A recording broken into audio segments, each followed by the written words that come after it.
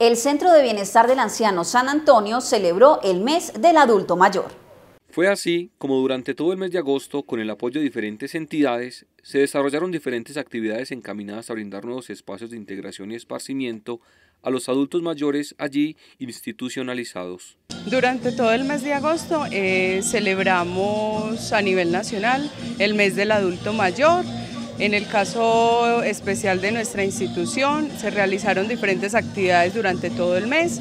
Eh, tuvimos la participación de los CDIs del municipio, eh, instituciones educativas, también se vincularon entidades financieras como Coabejorral, Cofinep, Copetraban. También quisimos integrar a nuestros adultos mayores eh, en la celebración de las fiestas del maíz, eh, los llevamos al parque principal para que pudieran apreciar el desfile de los primeros pobladores.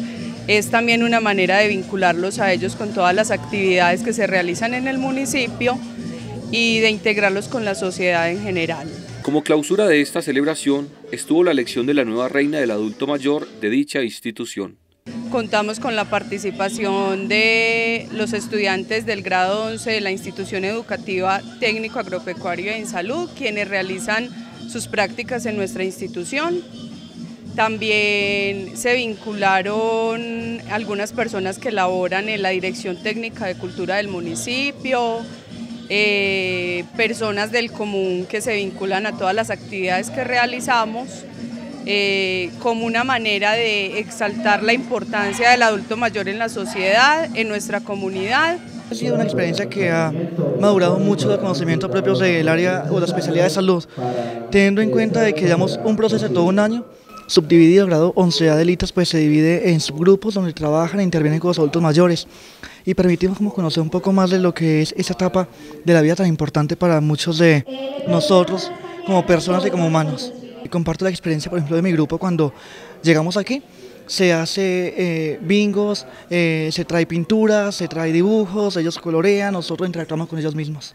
La idea que se tiene desde el Centro de Bienestar del Anciano es que las instituciones y personas del común se sigan vinculando a las diferentes actividades que en beneficio de los adultos mayores se desarrollan en el transcurso del año. Yo siempre lo he manifestado que las puertas de nuestra institución están abiertas para que eh, realicen actividades con nuestros adultos, que ellos se sientan acompañados y que puedan compartir tanto con eh, niños, eh, jóvenes y adultos, inclusive con las familias. Yo invito a la comunidad, la comunidad en general, porque es difícil encontrarse con historias quizás de nuestros abuelos, nuestros eh, adultos mayores, aquí como aislados de la sociedad como muchos creen que es, pero en realidad no, yo los invito a que lo conozcan, para que se den cuenta de que es muy valioso esta gente como a través de la experiencia de la edad nos enseñan a vivir también a los jóvenes. En esta oportunidad, como reina del adulto mayor del Centro Bienestar del Anciano San Antonio,